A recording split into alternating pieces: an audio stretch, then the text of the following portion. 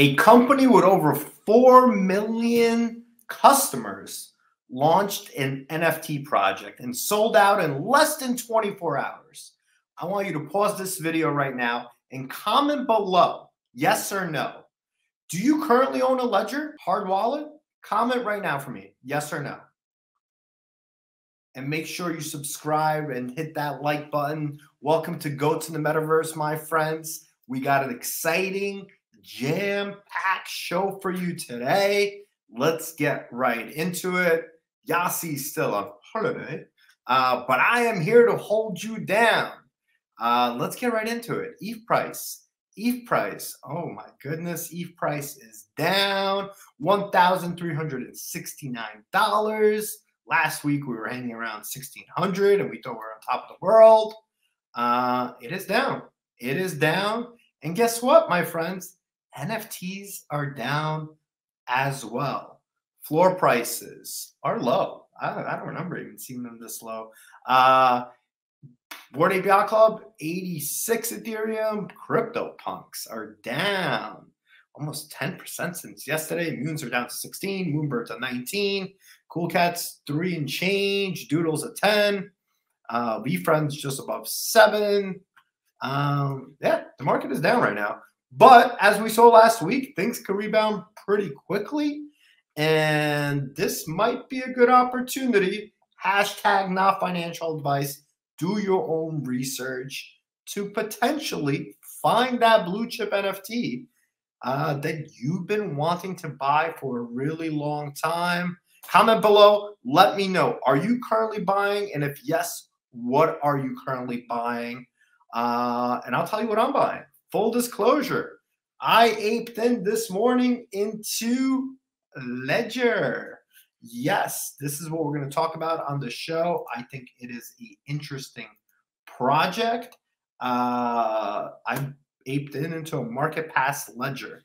Uh, for those of you who don't know what a ledger is, a ledger is a hard wallet. This is a company that's been around since 2014, and they have over 4 million customers. I'm a proud Ledger customer myself, and this is not, I'm not getting paid by Ledger. This is not promotional. Uh, this is to protect your ass. So if you do not have a hard wallet, I strongly recommend you purchase one, whether it's a Ledger or one of their competitors. But this is probably the most important thing you need to have in order for you to keep your NFT safe. And what it is, it's basically a little hard drive um, that, that you input your code on. And every time you do a transaction, uh, whether you're purchasing or selling an NFT or signing into your wallet, you must physically sign in on the ledger. So what it does is it gives you dual often often it gives you a dual step where you actually are able to protect yourself. Uh, so it's just like uh, 2FA, 2FA authentication on Twitter or Discord, except it is a physical piece. So unless somebody actually has it, they're not able to hack into your account, or at least nothing that we have heard of yet, even though the hackers and the scammers are getting a lot more sophisticated. And I wouldn't be surprised if they figure out a way to hack ledgers. Uh, let's hope they don't. But uh, so here's what Ledger did they got into the NFT game, which I think is a very smart move. Uh, why? They already have a customer base. Uh, they have 4 million customers that use their product and know their name and have spent money with them. Um, this is a product that's been recommended by Forbes, TechCrunch, Bloomberg. Um, so what they did is they they launched Ledger Market Pass. They created 10,000 of these. They minted at 0.3 um, and they sold out in less than 24 hours. Uh, current floor price is about 0.55. So if you minted a 0.3, you are up right now, my friend.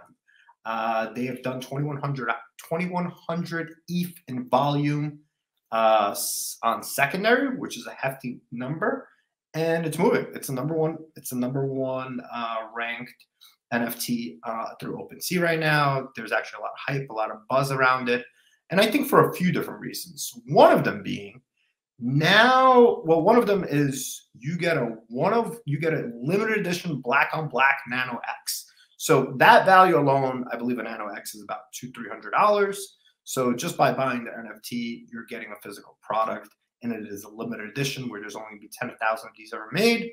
So for some reason, this NFT blows up, you're getting a physical in the box, and if you're a collector, that could be worth money for you down the line.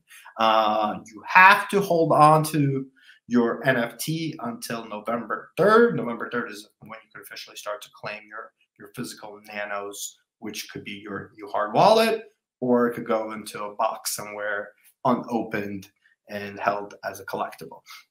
So that's one reason uh, people people are excited about it. The second reason is they're launching a marketplace, and there's going to be collaborations with some of the best known brands from music, fashion, uh, digital art, sports, Web3, and culture at large.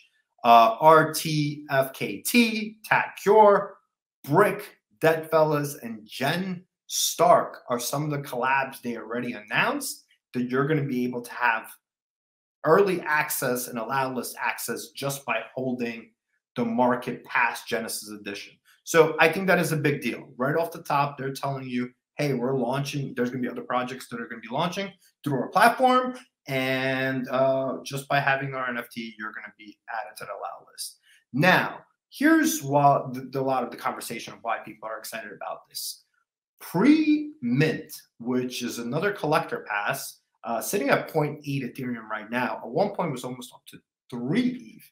Uh, this is another tool where people are using to find about about about find out about other NFTs and get early allow list access.